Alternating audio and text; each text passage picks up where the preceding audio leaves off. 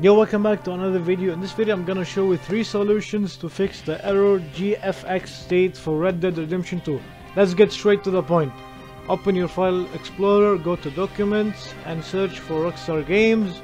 Go to Red Dead Redemption 2 and then head over to settings. Now you see these SGA, Vulkan, Final, etc. Now you're gonna choose all of them, alright? And you're gonna hold Shift Delete to permanently delete them okay? Now you're good.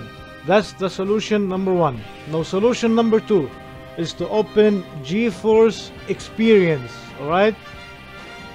Give it a little bit of time and then you should see your games here. Uh, click on do not launch on do not launch red dead redemption 2 yet. Click on red dead redemption and then optimize or revert. Optimize using optimal settings alright you're gonna revert or optimize it alright now you should be able to play your game normally. That's the solution number two. Now let's get to the final solution is to open your game. I don't know where your game at but I have it on steam. Now click on play and wait for it to load up.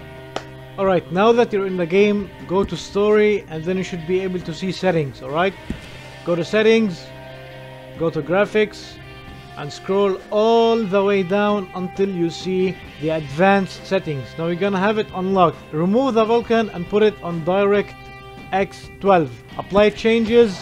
Yes. And then you're gonna restart your game. So let's restart our game and then try to play it normally. Quit game. Yes. Quitting Red Dead Redemption 2 please wait.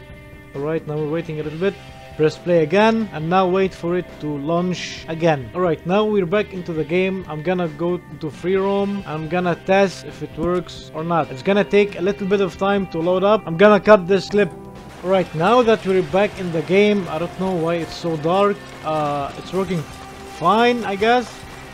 And that's how you fix your Red Dead Redemption 2 Error GFX state.